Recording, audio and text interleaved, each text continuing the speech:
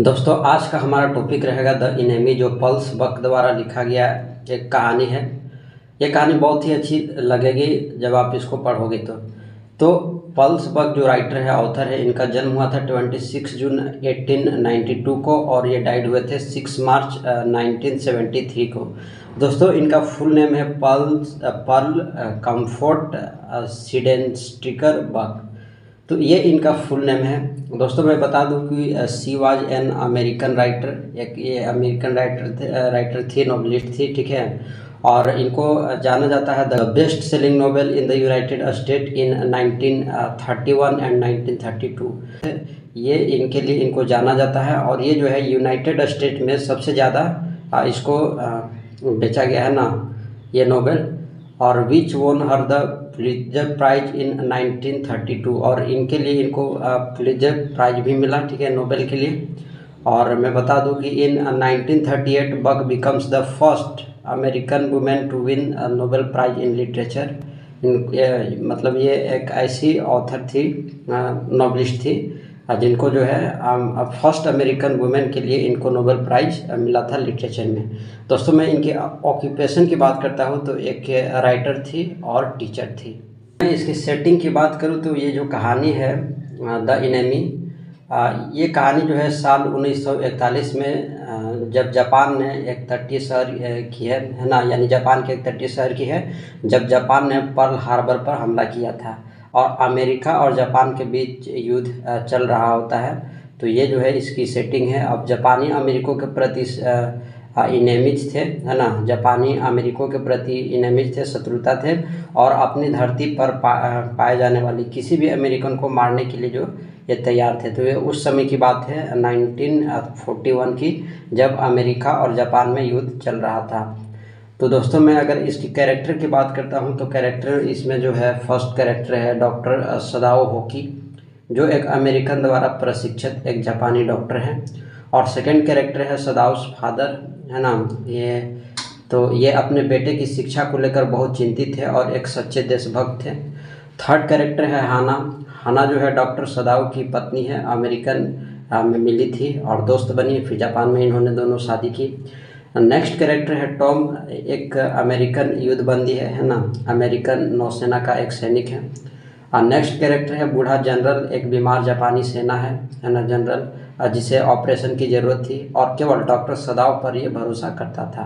Character है एक अधिकारी, है ना एन ऑफिसर ये जनरल का दूत था, है ना? और नेक्स्ट कैरेक्टर है माली डॉक्टर सदाव के घर का एक बूढ़ा माली था। और नेक्स्ट करेक्टर है येमी है ना हाना की नौकरानी, ठीक है? और नेक्स्ट करेक्टर है रसोईया, जो डॉक्टर सदाव के घर का एक पुराना रसोईया था। दोस्तों, मैं अगर इस जगह की बात करूँ तो डॉक्टर सदाव का घर है, समुद्र के पास एक संकरे समुद्र तट पर बना बना एक घर है, और यही जो है, ये कहानी स्टार्ट होती है। तो यही से कहानी स्टार्ट होगी। चलिए, हम लोग इसको स्टार्ट करते हैं। तो द इनेमी एक जापानी डॉक्टर की कहानी है जिसका नाम सदाओ है। दोस्तों सदाओ एक कठिन परिश्रमी में पड़ जाता है। घोर धर्म धर्म संकट में पड़ जाता है। आ, यह तब की बात है जब जापान और अमेरिका के बीच युद्ध चल रहा होता है और एक अमेरिकी सैनिक समुद्र में बहकर सदाओ की चौखट पर आ जाता है। अब सदाओ घोर संकट में पड़ जाता है। उसे यह समझ में नहीं आता है कि उस आदमी को पुलिस को सौंप दे या एक डॉक्टर होने के नाते उसका ट्रीटमेंट करे। तो लेकिन अब वह आदमी बुरी तरह घायल था तो डॉक्टर होने के नाते सदाओं को प्रशिक्षित मिला था कि जहाँ तक संभव हो उन्हें प्रत्येक व्यक्ति का जीवन बचाना चाहिए। इसलिए उस आदमी की राष्ट्रीयता की परवाह न करते हुए वह उसका जीवन बचाते हैं। इस प्रकार यह कहानी जो है राष्ट्रीयता की भावना के ऊपर मानवता की जीत के बारे में है। स्टार्ट होता है एक शाम जब सदाव और उसकी पत्नी हाना अपने घर के बरामदे पर खड़े होकर समुद्र की ओर देख रहे थे। उन्होंने देखा कि एक थका हुआ आदमी किनारे पर बह रहा है। जब वो वहाँ लेटा तो सदाओ उसकी जाँच करने गए। उन्होंने देखा कि वह घायल है। उन्हें आश्चर्य हुआ जब उन्हें पता चला कि वह एक श्वेत व्यक्ति था, यानी एक अमेरिकन था। अब एक अमेरिकन सैनिक जो एक कैदी की तरह लग रहा था, जो किसी तरह भागा था, वह उनका शत्रु था इनेमी था अपने देश के पॉलिटिकल माहौल को देखते हुए वे जान जानते थे कि एक अमेरिकन को आश्रय देना अवैध है। लेकिन फिर वह एक डॉक्टर के रूप में अपने कर्तव्य के बारे में भी सोचते हैं, इसलिए वह ऑपरेशन करने और शरीर से बुलेट निकालने का फैसला करते हैं। और ऐसा करने में उनकी जो पत्नी है उसकी पूरी तरह से मदद करती है, लेकिन फिर वह उसे इनेमी ही मानते हैं। नौकर तो उन्हें छोड़ करके चले जाते हैं भाग जाते हैं सदाव के नौकर, क्योंकि सदाव जो कर रहा है, उसका जोखिम वो नहीं लेना चाहते हैं। लेकिन सदाव की पत्नी हर तरह से अपने पति के साथ जो है खड़ी है। अब दोस्तों सदाव उस आदमी को लगभग दस दिनों तक अपने घर में रखता है, जब तक कि वह बिल्कुल ठीक नहीं हो जाता। अब डॉक्टर सदाव सोच रहा है कि अगर मैं इसे पुलिस के हवाले कर दिया तो इसे मारा जाना तय है। इसलिए वह नहीं चाहता है कि जिस आदमी को ठीक करने में उसने इतनी मेहनत की है, उसे मार दिया जाए। और अंत में सदाव अमेरिकन सैनिक को भागने में मदद करता है और इस प्रकार जो है वो उसकी जान बचा लेती है। दोस्तों, मैंने इसको शॉर्ट में समझाने का प्रयास किया है। अगर आप इस कहानी को पढ़ोगे तो समझ में काफ़ी कुछ आ जाएगा।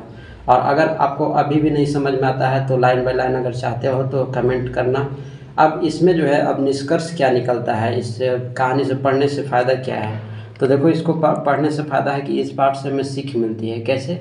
कि प्यार और करुणा हमें अन्य लोगों के प्रति एक अच्छा इंसान बना सकता है। आप बताओ, डॉक्टर सदाओ अमेरिका में पढ़ा था एक जापानी, लेकिन जब वो अपने कर्तव्य पर आया तो वो एक डॉक्टर था और डॉक्टर का कर्तव्य होता है मरीज़ किसी को ट्रीटमेंट करना, है ना?